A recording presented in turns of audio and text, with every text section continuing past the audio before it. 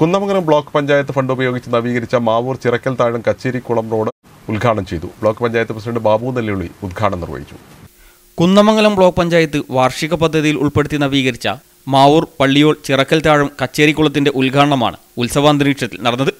നിരവധി കുടുംബങ്ങളുടെ ആശ്രയമായ കച്ചേരിക്കുളം കൽപ്പടവുകളും പാർശ്വഭിത്തിയും തകർന്ന നിലയിലായിരുന്നു. ധനകാര്യ കമ്മീഷൻ ഗ്രാന്റ് ഉപയോഗിച്ചാണ് കുളം നവീകരിച്ചത്.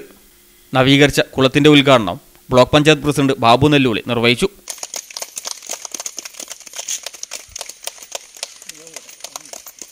Block panchayat vice president Mumtaz Sameed വികസന standing committee chairman N Abubakar Mavoor ഗ്രാമപഞ്ചായത്ത് president T Ranjith vice president Jayasree Divyaprakash standing committee അധ്യക്ഷർ ഗ്രാമപഞ്ചായത്ത് അംഗങ്ങൾ തുടങ്ങിയവർ ചടങ്ങിൽ സംബന്ധിച്ചു.